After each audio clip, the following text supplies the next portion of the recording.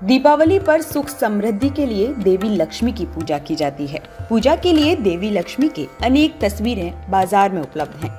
लेकिन उनमें से किस तस्वीर की पूजा से क्या फ़ायदा या नुकसान हो सकता है, ये सभी लोग नहीं जानते। आइए जानते हैं दिवाली पर देवी लक्ष्मी की कैसी तस्वीर की पूजा करनी चाहिए और उसका क्या फ़ायदा हो सकता है? धन लाभ और मनोकामना पूर्ति के लिए देवी लक्ष्मी की ऐसी तस्वीर की पूजा करनी चाहिए, जिसमें वे भगवान विष्णु के साथ गरुड़ पर सवार हों। यदि घर में देवी लक्ष्मी की तस्वीर लगाना हो तो ऐसी लगाएँ जिसमें वो बैठी हुई अवस्था में हो। जिस फ़ोटो में देवी लक्ष्मी खड़ी हो, ऐसी फ़ोटो घर में रखने से बचना चाहिए।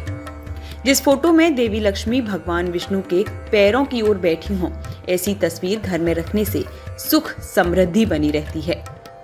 धन संपत्ति के लिए देवी लक्ष्मी की ऐसी तस्वीर की पूजा करें, जिसमें वे धन के देवता कुबेर के साथ हों। जिस फ़ोटो में देवी लक्ष्मी के साथ गणेश और सरस्वती भी हों, ऐसी तस्वीर पूजा के लिए सर्वश्रेष्ठ होती है। गज लक्ष्मी यानी हाथी पर बैठी देवी लक्ष्मी की तस्वीर की पूजा शुभ मानी जाती है।